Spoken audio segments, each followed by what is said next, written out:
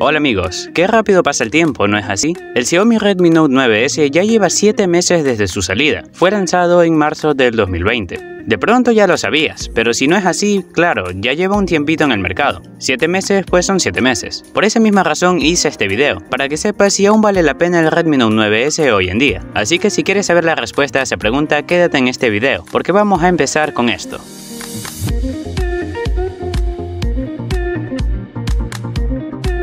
Bueno, te explico más o menos cómo será este video. Empezaremos diciendo las características del dispositivo, luego sus ventajas, sus desventajas y al final concluiremos en que si vale la pena. Así que demos comienzo al video. El Redmi Note 9S tiene la plataforma móvil Snapdragon 720 a 8 núcleos, acompañado con 4 o 6 GB de RAM. Tenemos una pantalla de 6.67 pulgadas a resolución Full HD Plus y tenemos una batería de 5020 mAh, la cual de por sí es bastante buena. Ya entraremos más adelante en detalle sobre eso tenemos una cuádruple cámara trasera, la cual la estándar es de 48 megapíxeles, la de gran angular de 8 megapíxeles, una de 2 megapíxeles para las fotos modo retrato y una última de 5 megapíxeles para las fotos macro. Entre sus características tenemos que tiene flash LED, puede grabar a slow motion a 960 fps y puede grabar hasta resolución 4K. Bueno, ahora procedemos a hablar sobre las ventajas. Y en primera ventaja tenemos la batería. A ver, Puedo apostar que de seguro pensabas que esto iba a ser una ventaja, ya que 5000 mAh sin duda es una muy buena cantidad. Y bueno, pues esa misma es la realidad. Esta batería es bastante buena, 5000 mAh no solo es una buena cantidad, sino que al estar bien optimizada, dura bastante tiempo prendido. Por cierto, este celular soporta carga rápida de 18 watts. Y por cierto, estará cargado del 0 al 100% en 2 horas. Así que es una buena cantidad el tiempo en el que se carga, y más aún el tiempo que dura encendido para que lo uses. Otra de las cosas por la que resalta bastante es la potencia, y es que este celular sin duda tiene una potencia bastante buena, y por cierto, el Poco X3 NFC sí es un poco más potente que el Redmi Note 9S, pero pues solo un poco. Y lo mismo pasa con el Xiaomi Mi 10 Lite, que es un poco más potente que el Redmi Note 9S. Pero como digo, la diferencia no es tanto así como para que quisieras cambiarte a uno de estos dispositivos. Por cierto, ya que estamos hablando sobre la potencia, que es una ventaja, tenemos que decir que este Snapdragon 720 funciona bastante bien, casi no se te quedará lagueado en ningún momento.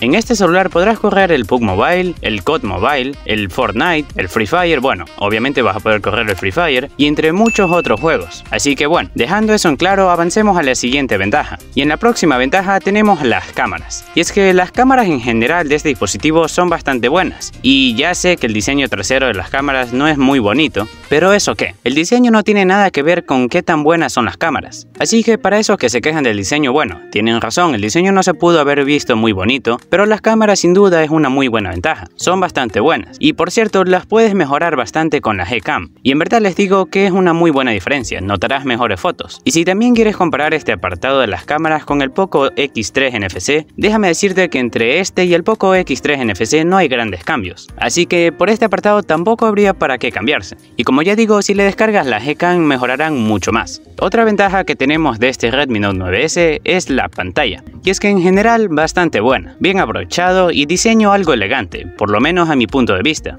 ya que como les iba diciendo, la parte frontal está bien aprovechada y el hueco en la pantalla a lo personal lo hace ver algo elegante, aunque ya sabemos que hay muchísimos dispositivos más con la pantalla así. Por cierto, en el brillo he escuchado que es más brillante que el Poco X3 NFC, así que en la pantalla no diría que sería tampoco una buena idea para cambiarse al Poco X3 NFC. Bueno, ya hemos hablado sobre algunas ventajas de este dispositivo, así que ahora hablemos sobre sus desventajas. Y entre sus ventajas tenemos las fotos en poca luminosidad. Esto es algo muy común en muchos gama media, y Xiaomi no es la excepción. En las fotos de noche suelen sufrir bastante estos dispositivos, ya que en muchos casos la calidad de la imagen y la saturación de los colores no serán lo mismo que en el día bajarán bastante la calidad y será algo muy notorio. Pero puedes descargar la Gcam y sin duda mejorarán bastante las fotos aquí también, así que es algo que se puede remediar. Y otra desventaja es que algunos querían un poco más de 18 watts de carga rápida, ya que no les parecía suficiente. Pero la verdad yo lo veo bien. Si nos ponemos a pensar sobre el precio que nos están pidiendo por este celular, no es ninguna desventaja, por lo menos a mi punto de vista, pero está aquí porque para algunos sí lo es. En fin, la pregunta por la que todos están aquí, ¿aún vale la pena el Redmi Note 9S hoy en día? Pues el Redmi Note 9S sí vale la pena hoy en día, más que todo por el precio al que se puede encontrar por ahora, ya que este celular ha bajado bastante de precio, y hoy en día pues lo puedes encontrar en precios bastante atractivos, que la verdad sin duda es una muy buena opción de compra. Así que bueno amigos, si te ha gustado el video no olvides suscribirte a mi canal y activar la campanita, para recibir notificaciones cada vez que yo subo un nuevo video. De todos modos ya no tengo más que decir,